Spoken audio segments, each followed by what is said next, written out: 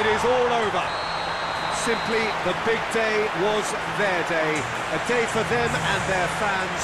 A truly proud line in their history. So on to centre stage come the central characters, the individuals who, as a team, blended into champions, and this is their moment.